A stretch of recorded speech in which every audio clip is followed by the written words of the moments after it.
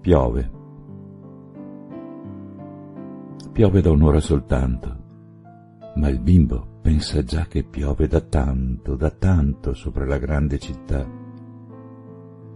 Piove sui tetti e sui muri, piove sul lungo viale, piove sugli alberi oscuri con ritmo triste e uguale.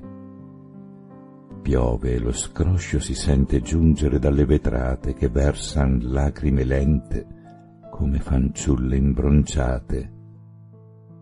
Piove e laggiù sulla via e in ogni casa già invade l'intima malinconia di quella pioggia che cade